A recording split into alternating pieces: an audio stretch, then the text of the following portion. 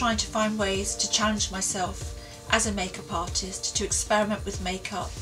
and to take it to another level so that it's not just beautiful in the conventional sense.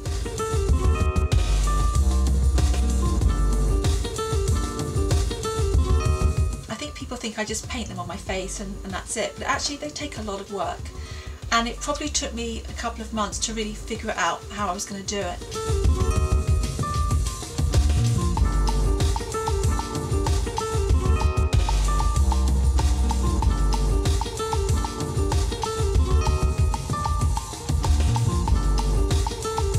I really thought it was just going to be